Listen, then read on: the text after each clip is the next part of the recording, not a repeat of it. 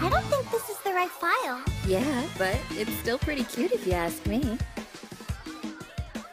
I'm gonna close my eyes for a little bit and take a nap. Somebody stop that video